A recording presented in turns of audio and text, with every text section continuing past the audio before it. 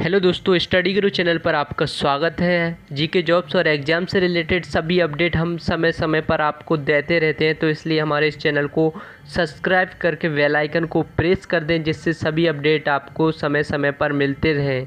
तो यहाँ पर जो बड़ी खुशखबरी है ट्वेल्थ वाले छात्रों के लिए तो वो ये है कि जो आपके एग्ज़ाम है, वो कैंसिल हो सकते हैं। जैसा कि इस खबर में दिया गया है स्पष्ट तौर पर तो इसको हम जान लेते हैं।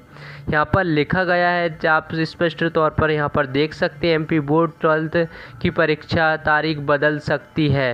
तो वो ये क्या कारण है कि इसकी जो परीक्षा तारीख है वो बदल सकती है? तो इसका ये मुख्य कारण है। यहाँ पर भोपाल माध्यमिक शिक्षा मंडल मध्य प्रदेश भोपाल द्वारा यहाँ पर आयोजित जो बारहवीं की हायर सेकेंडरी परीक्षा की तारीख में परिवर्तन हो सकता है। ये संभावना इसलिए जताई जा रही है क्योंकि राष्ट्रीय स्वयं सेवक संघ के अनुसंधान घट, संगठन अखिल भारतीय विद्यार्थी परिषद ने परीक्षा की जो तारीख बदलने की मांग की है।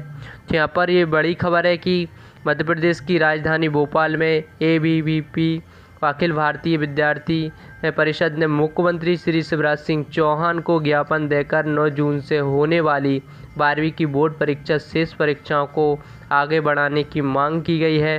तो ज्ञापन में लिखा गया है कि कोरोना संक्रमण की स्थिति को देखते हुए छात्र और अभिभावकों और का सुरक्षित महसूस कर रहे हैं।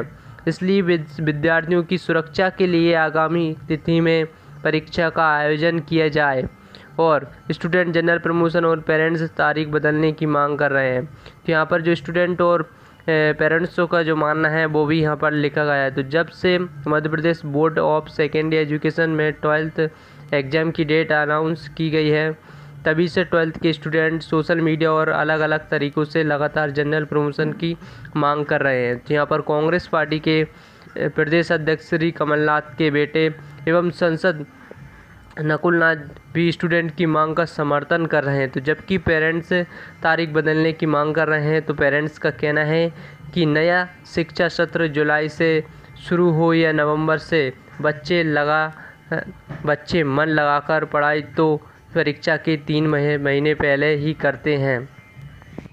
हो सकता है जो परीक्षा है वो कैंसिल कर दी जाए, लेकिन आप अपनी पढ़ाई को जारी रखें। परीक्षा हो भी सकती हैं, कैंसिल भी हो सकती हैं, कुछ भी हो सकता है। और अगली अपडेट पाने के लिए इस चैनल को सब्सक्राइब करके बेल आइकन को प्रेस अवश्य कर दें।